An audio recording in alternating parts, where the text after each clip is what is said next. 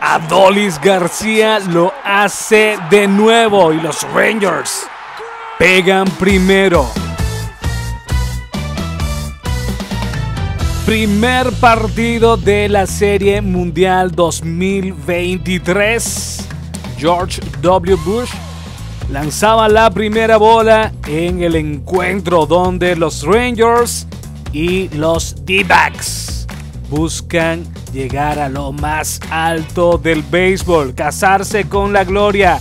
Nathan Baldi, el abridor de los Rangers, frente a Zach Gallen. Lo hacía por los D-backs y en la primera entrada, la base por bolas a Seager. Carter venía a batear y le pegaba fuerte por right center field. La bola va contra la pared.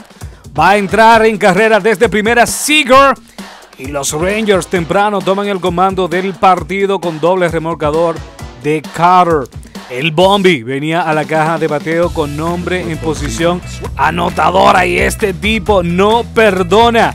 Batazo de hit y entra la segunda de los Rangers y empata a Dolis como el máximo remorcador de postemporada.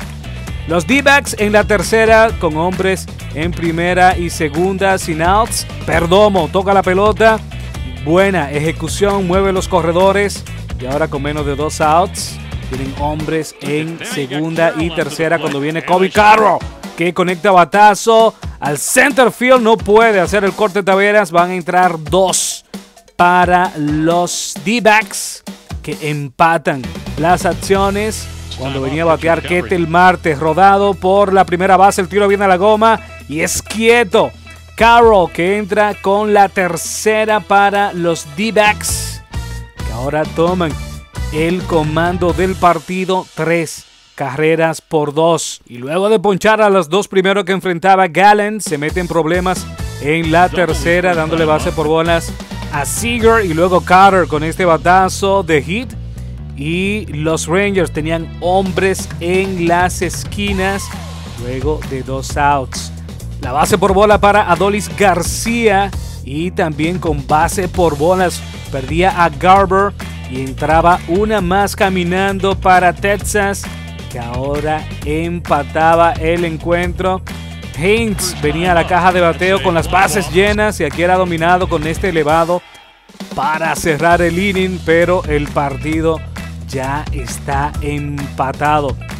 En la cuarta, Tommy Fan venía a abrir la entrada y aquí le pegaba fuerte por left field. Atrás la pelota y no la busquen más. Hasta el segundo piso, el majaguazo de Tommy Fan, que le devolvía de inmediato la ventaja a los D-backs. Y esta gente viene en serio en la quinta. Perdomo arrancaba con hits y luego se iba robo y sin outs. Estaba en posición anotadora cuando venía Kobe Carroll era ponchado, pero el turno era para Ketel Marte que le pega fuerte. Border right center field contra la pared de la pelota.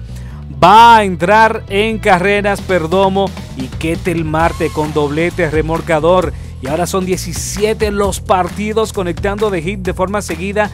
Récord para arrancar una carrera en postemporada y empata el récord absoluto en una postemporada ahí con Derek Jeter y también Manny Ramírez. En la séptima entrada volvió a batear Ketel Marte, conectaba rodado por el shortstop y allá aparecía Simmons que mete el brazo y completa la jugada impresionante en territorio del shortstop y sacaba a Marte, que es un buen corredor.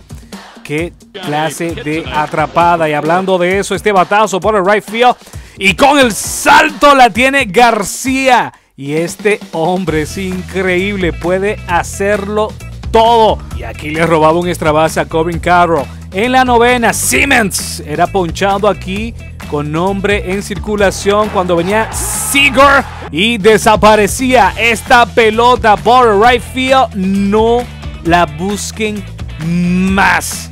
Tenemos partido nuevo en Texas. Esto se ha empatado cuando venía a batear a Dolis García, que era golpeado aquí en el codo. Y bueno, nos vamos a entradas extras. En la décima venía Leclerc y retiraba de un 2-3. Lo mismo hacía en la entrada número 11. La tremenda labor monticular del dominicano. Vámonos a la baja de esta entrada. Dolis García venía a batear y aquí le pegaba fuerte hacia el prado opuesto. No la busquen más. Increíble. Lo hace de nuevo Adolis García. Ahora el líder absoluto en remolcadas en una postemporada al momento que deja en el terreno a los D-backs con este majaguazo. Increíble. 6 por 5 victoria de Texas. Es todo de mi parte. Dale me gusta a este video, compártelo, suscríbete a nuestro canal, dale a la campanita. Nos vemos en una próxima.